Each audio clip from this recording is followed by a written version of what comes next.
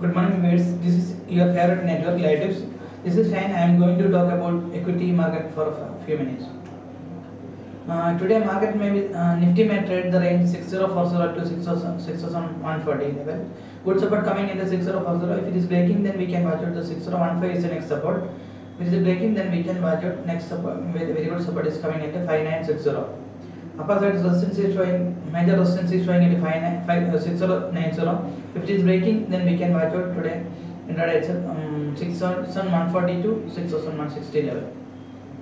Today we can watch out for the sector wise. We can watch out auto sector is showing uh, looking bullish only. So Tata Motors, M&M, Maruti, everything we can watch out for the buy. IT also bullish only. Infosys, Wipro, TCS, everything we can watch out for the buy side.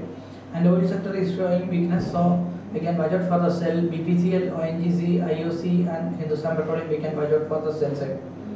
Thank you viewers. Keep on watching your favorite network live tips.